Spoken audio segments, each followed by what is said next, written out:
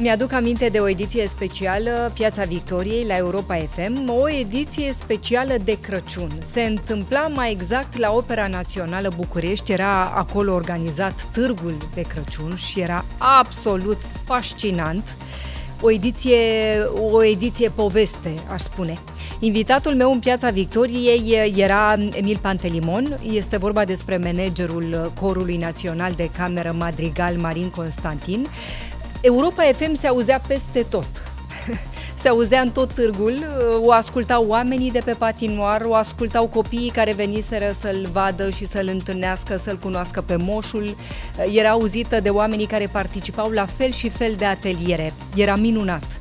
Am vorbit cu Emil Pantelimon despre muzică, despre salvarea noastră prin muzică, despre prevenirea abandonului școlar prin muzică, um, o ediție um, cu adevărat emoționantă în vremuri tulburătoare. Era pandemie, COVID-19 în România atunci și nu numai, o ediție um, nu știu, în vremuri apăsătoare, ca să spun așa, de pandemie.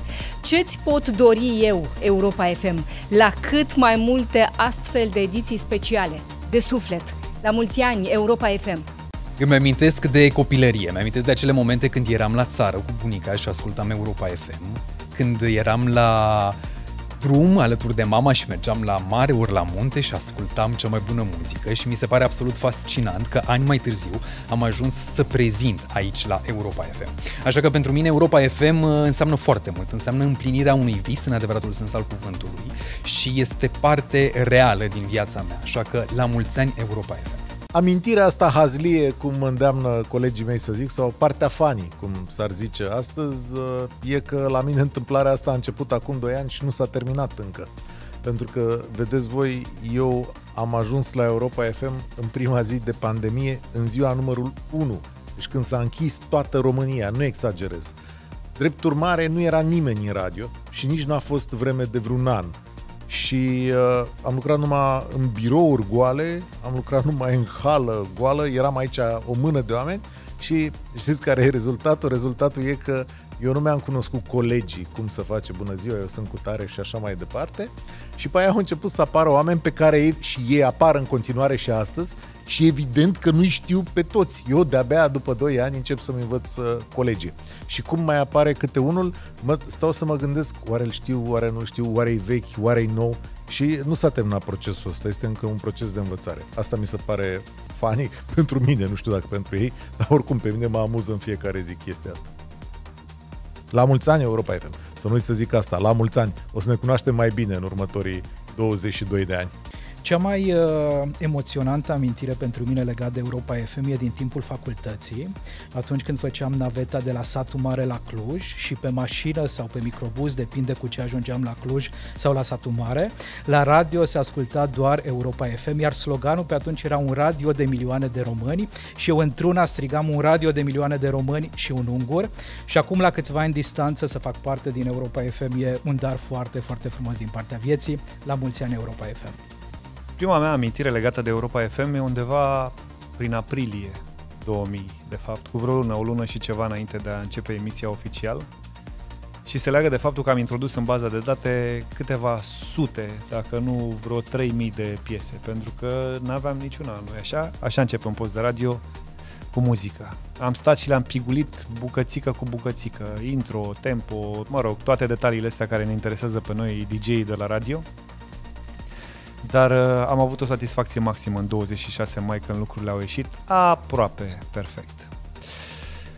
O altă amintire e legată de discuțiile cu consultanții noștri francezi de la vremea respectivă. Nu cred că mai am mailul cu pricina, dar era unul, credeți-mă pe cuvânt, în care unul dintre ei spunea că speră ca până la finalul anului să ajungem locul 2 în audiențe. Și nu înțelegeam chestia asta, pentru că țelul nostru era să fim numărul 1. Și am și ajuns înainte ca el să-și îndeplinească dorința de a fi pe locul 2. Și de atunci am tot rămas acolo. Spun asta pentru că e ca o coincidență, la 22 de ani de Europa FM, postul de radio pe care îl îndrăgiți atât este numărul 1 între stațiile private, în mediul urban Iar deșteptarea e pe primul loc, tot între stațiile private, la nivel național chiar. Pentru lucrul ăsta vă mulțumim, vă mulțumesc personal și știu că am mai albit un pic așa, dar nu plec. Aici rămân. La mulți ani Europa FM. Sunt foarte mândră că sunt la Europa FM și iubesc locul ăsta și încă de acum foarte mulți ani, când uh, eram în capătul țării la satul mare, visam ca într-o zi vocea mea să se audă la Europa FM, pentru că știam că este un radio de milioane de români. Astăzi sunt foarte fericită să mă întâlnesc cu foarte mulți români care ne ascultă, care ne iubesc și care vin să-mi spună, Doamna Mirela, emisiunea Antrenorul Părinților mi-a salvat relația, mi-a schimbat viața, a făcut ceva extraordinar pentru noi și asta mă face foarte fericită. Și dacă e să îmi amintesc o întâmplare cu Europa FM, este o întâmplare de la Piatra Neamț, unde o zi întreagă am căutat prin toate stațiile un taximetrist pe care îl cunoscuse fica mea Maia și care îi povestea Maiei despre mine, despre Gașpar și despre antrenorul părinților, neștiind că Maia este copilul meu, iar Maia și-a dorit foarte mult să-i facem o surpriză acelui om, să mă întâlnească personal și uh, să se bucure de experiența asta. Faptul că sunt aici la radio îmi dă ocazia fantastică să ajung uh, în sufletele milioanelor de părinți care își doresc o viață mai bună pentru copiii lor iar pentru mine Europa FM reprezintă în acest moment o șansă extraordinară să fiu uh, aici, astăzi și acum. La mulți ani Europa, îți mulțumesc pentru uh, toate ocaziile minunate și la mulți ani tuturor ascultătorilor Europa FM care vor să fie părinți mai buni pentru copiilor. Eu sunt de 2 ani de zile la Europa FM, nu de 22 de ani și în acești 2 ani de când uh, vin aici uh, aproape, nu chiar în fiecare zi, cea mai haioasă chestie care mi se întâmplă și se întâmplă constant. Și mi s-a întâmplat și acum câteva secunde înainte să mă așez pe acest scaun, este atunci când mă întâlnesc cu Mircea, colegul meu, care și acum este în spatele camerei și care de câte ori mă vede îmi spune Vai, Mona, am umit atât de frumos, cât ești de frumoasă, cât de bine arăți, ce roc e frumoasă astăzi, ai astăzi, dar ce parfum ai. Asta îmi face Mircea în fiecare săptămână. Și nu e neapărat haios, este fabulos și știu că mă minte atât de frumos și pentru asta îi spun și eu, și eu te iubesc, Mircea. La mulți ani Europa FM. 22 de ani de Europa FM. Wow! Nu i-am prins decât pe ultimii 21. Salutare! Au fost foarte multe momente amuzante, vă dați seama în anii ăștia, însă cel mai recent a fost când atunci când Petre, colegul meu de la departamentul tehnic, a venit în studio pe drum cu prioritate și mi-a zis, Radu, trebuie să restartăm tot sistemul. Sistemul s-a restartat, în urma acestui restart s-a deschis microfonul. Noi nu auzeam absolut nimic în boxe, ascultam pe telefon pe aplicația Europa FM, încercând să ne dăm seama dacă emisia a repornit. E, și pe aplicația Europa FM probabil știți că există o întârziere de 20 de secunde. În acele 20 de secunde eu vorbeam cu Petre despre una, despre alta și am început să ne auzim pe telefon, pe aplicația Europa FM. Microfonul s-a deschis fără să ne anunțe și pe noi. În momentul ăla am înghețat, am, ne-am auzit vocile pe telefon, ce se întâmplă, trebuia să fie doar muzica, nu și vocile noastre. Vă dați seama că pe moment n-a fost nimic amuzant, însă acum, retrăind evenimentul, uh, mi se pare că am scăpat ieftin, pentru că am fost băieți cu minți și vorbeam strict despre lucruri tehnice.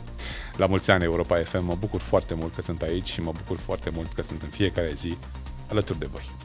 Uite că radioul meu preferat împlinește 22 de ani. Eu sunt de 10 ani aici și pentru mine nu există o singură amintire. Este un caleidoscop de amintiri și toate, toate sunt legate de interacțiunea cu ascultătorii noștri, cu voi. Am râs, m-am emoționat, mi-au dat lacrimile, uh, unele dintre comentarii aproape că mi-au schimbat viața. Uh, voi, ascultătorii, sunteți cei care faceți, de fapt, o bună parte din Europa FM și împreună suntem o comunitate, iar amintirile noastre sunt comune. Și vă mulțumesc tuturor pentru asta. Unul dintre cele mai emoționante momente pe care le-am trăit la uh, Europa FM uh, a fost uh, campania de susținere pe care postul nostru a organizat-o pentru echipa Invictus a României.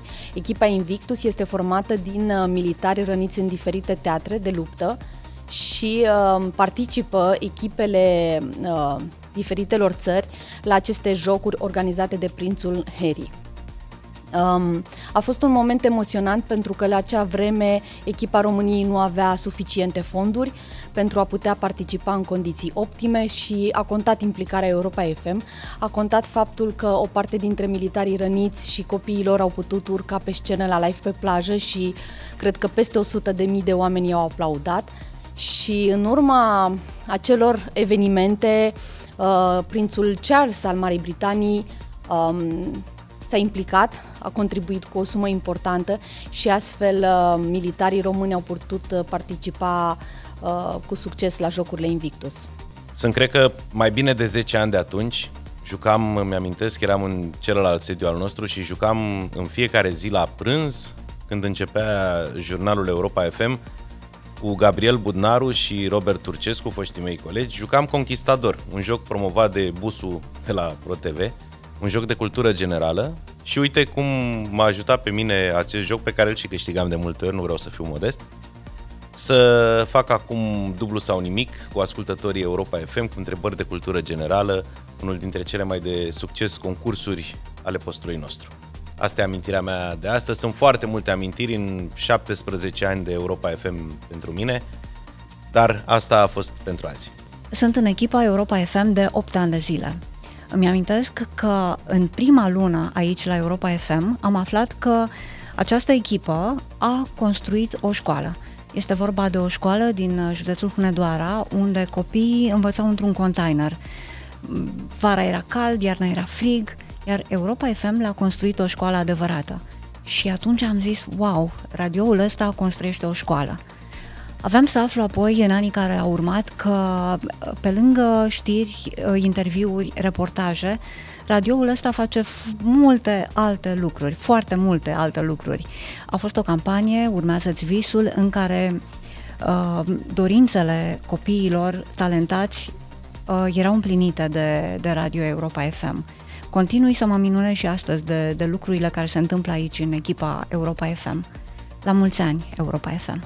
Am multe amintiri frumoase legate de Europa FM și sunt cu atât mai frumoase cu cât uh, în prima perioadă a experienței mele în FM am crezut că nu mă potrivesc cu acest radio. Ei bine, iată că am ajuns aici și mă simt foarte bine, dar uh, cea mai frumoasă amintire pe care o am legată de acest radio este una din 2009-2010, n-aș ști să spun exact anul, Eram înaintea unui concert la mare uh, pe plaja de la Mamaia și am auzit o înlănțuire de piese uh, Empire of the Sun legat de Jason Mraz și pentru un moment n-am știut ce radio ascult.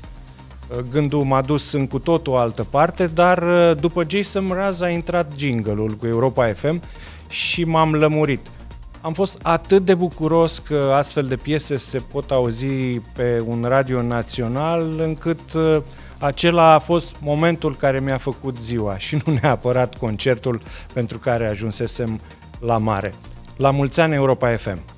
Bună tuturor, sunt Sorin Niculescu, la 22 de ani cu Europa FM. Mă gândesc că eu unul sunt uh, de fapt în continuare printre noi veniți, având numai, între ghilimele, 15 ani de Europa FM.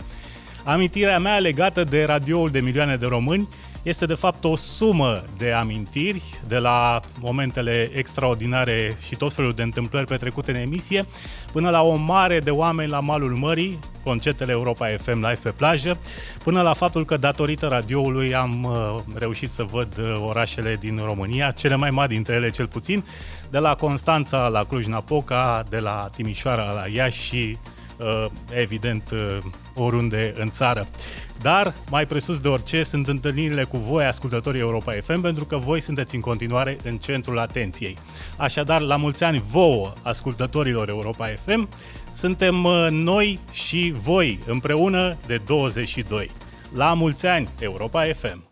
Am fost aici de când a început Europa FM. Mi-aduc aminte că prima oară când am intrat în sediu Europa FM, nu acesta desigur, era moloz. La poartă se amenaja recepția. Și ani de zile am prezentat uh, jurnalul de dimineață împreună cu colegul și prietenul meu și cel mai bun partener pe care l-am avut eu vreodată în Radio Rareș, uh, Petrișor. Și uh, într-o dimineață morți de somn amândoi, că era asta însemna ora 4 dimineața trezirea, ora 5 ajuns în radio și început treaba pentru primul jurnal care era la 6, după care la ora 7 era jurnalul de dimineață. Și am scris noi știrile, am făcut, am intrat în, în emisie, am citit ce am citit și la un moment dat trebuia să vorbesc despre situri arheologice. Mai că la ora aia, cu prea puțină cafea băută la bord, am reușit să spun șituri arheologice. Moment în care Rareș s-a prăbușit, ceea ce lui se întâmpla destul de rar. Rareș, uh, pentru cine îl știe și pentru cine nu știe, un tip destul de sobru, cu mult simț al umorului, dar sobru și foarte stăpânit. Rareș n-a mai putut, deci a căzut. Uh, am mai dus și eu cât am mai dus ne-a salvat un material, am reușit pe materialul ăla să ne recăpătăm respirația, după care tot jurnalul așa a fost în, în hopuri de citit câte un intro pentru, și, și râs după aceea. Uh, au fost multe momente de genul acesta, nici dacă aș putea să scriu o carte, dar întotdeauna îmi voi aduce aminte de șiturile mele arheologice. Cel mai nostim uh, moment de care mi-amintesc acum din trecutul recent la Europa FM este cel în care am făcut echipă pentru o singură dimineață cu George Zafiu și cu Luca Pastia la matinal. Uh, am trecut uh, repede peste momentul neplăcut al trezirii foarte devreme pentru că ne-am distrat foarte bine toată dimineața.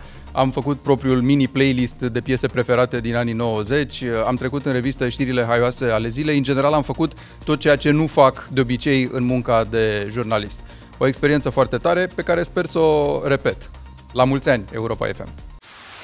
La mulți ani, Europa FM! De 22 de ani, pe aceeași frecvență cu tine!